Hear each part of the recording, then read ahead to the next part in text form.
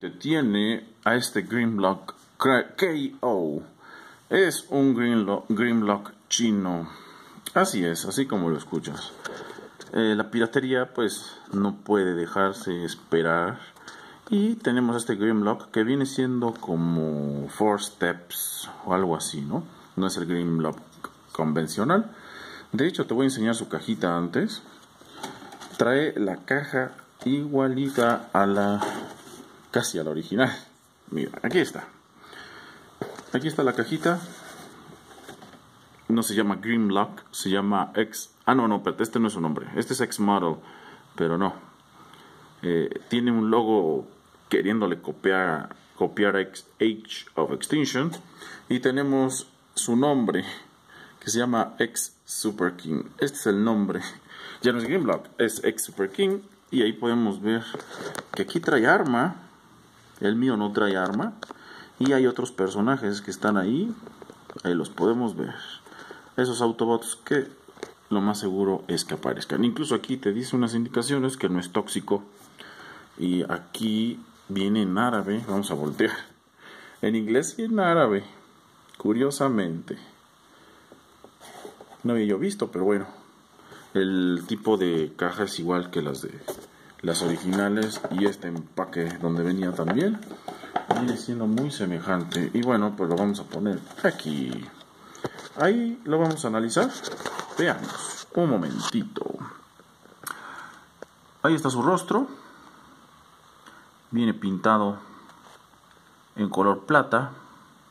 Ahí está la parte del cuerpo. Tiene un número 4 que bueno obviamente entendemos no que que es de la Movie 4 Age of Extinction. Y ahí están los puños. Y está pintado en plateado, es un color plata con gris oscuro. Y tiene negro y un color miel que lo caracteriza a este personaje. Lo podemos ver lateral. Se abre de hecho esto, ¿no? Si se abre sin un problema desde esta perspectiva pues lo podemos analizar. Y pues vamos a ver en comparación y en tamaño, lo vamos a analizar con otras figuras. vamos a ponerlo aquí. A ver, señor Grimlock. Póngase ahí porque lo vamos a comparar con otro Grimlock. Este es el normal. Digamos, este sí es el original, pero sí, le lleva un, un bueno. Bueno, sí, sí le lleva un una parte. Y también tenemos este Grimlock pequeñín que salió de Age of Extinction con Hammer Strike. Que la aprietas. Que por cierto, en mi otro canal, este Grimlock tiene un montón de vistas. no lo puedo creer, tiene como 2000 vistas, creo. De todos los videos que he hecho.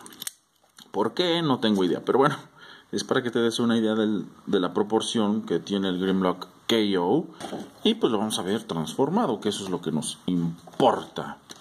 Para poderlo transformar, pues inicialmente pues nos vamos aquí a la cola. Tiene un mecanismo, mira, como de cuerda y vamos a hacer esto para poderlo girar hacia adentro. Lo mismo es como una especie de movimiento circular hacia adelante se llega a trabar un poquito, pero es circular. Y ya que hemos hecho eso, lo que vamos a hacer a continuación es que tiene ahí unos, una unión. Ahí puedes ver el poste. Y lo que hacemos es pegarlo. Embona muy bien, no se chispa. El plástico es muy semejante a los que sacaban de One Step o de Four Steps o Five Steps o todos los steps de ese estilo. Se puede rotar así y lo que hacemos ahora es lo siguiente no me quiero salir de la cámara ahí así. Es que vamos a abrirle los brazos así. Le vamos a bajar el brazo. Y esto va aquí metido. El puño va metido aquí. Y el puño hay un hueco donde se puede meter. Y ya nada más lo que hacemos es unir. Ahí tiene unos se ve no se ve. Ahí tiene unos postes, mira, así.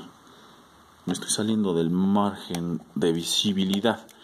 Esos postes que van a permitir que lo, lo aprietes y esto va a ir aquí de por sí queda volando y ahí están sus manitas las cuales se pueden mover arriba abajo sin ningún problema vamos aquí la escenografía es que no tengo aquí en la casa de ustedes mucho espacio y bueno hacia arriba y bueno ahí están las manos ahí está el rostro de hecho bajamos la cola no bajamos la cola y lo vamos a analizar desde esta perspectiva la movilidad que tiene.